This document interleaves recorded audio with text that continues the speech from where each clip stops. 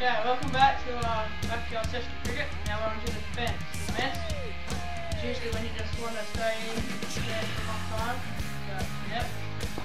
Okay, first I'm going to show you the front foot block, uh, defence. You just come onto the front foot, make sure that facing down. That will be up here. Straight up.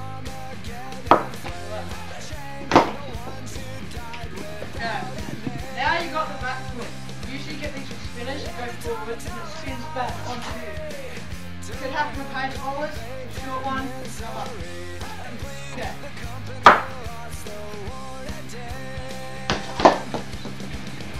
Okay, then this is actually counted as. The lead. You gotta go through.